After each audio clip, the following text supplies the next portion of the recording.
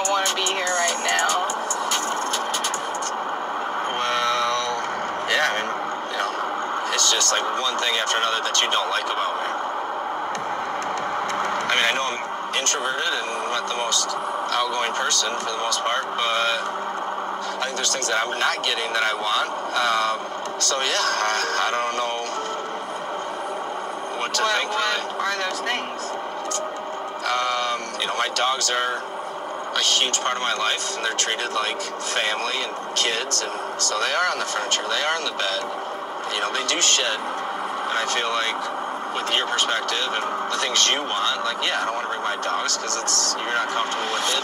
I believe that dogs should be like a benefit, and I don't believe that dogs should like run the household. You know, like I don't want to come in like the comforter's covered in dog fur. Like Yeah. all of that just kind of grosses me out. My thing No, we with the have- dogs is like you've been here five months and you haven't brought your dogs. So you don't think my dogs are a big deal to me? I mean, if they were, I feel like they would have been here by now. Yeah, I guess you're right. I don't like my dogs, and uh, I don't care if they're here. That's not what I said. Isn't it? No. I moved down here. I, I wanted to restructure, take a break. I said, I'm gonna the Donnellys. I'm gonna go down to Tennessee. I've always wanted to move there. Test Let's take the time. What's that? Test it out.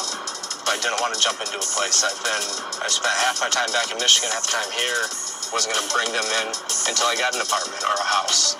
Maybe you think I'm not stable because of that. Um, I do pretty well in cannabis, and the money thing's not a problem at all. So, yeah, I don't know. I'm just. Uh, I'm not feeling good about where we're at.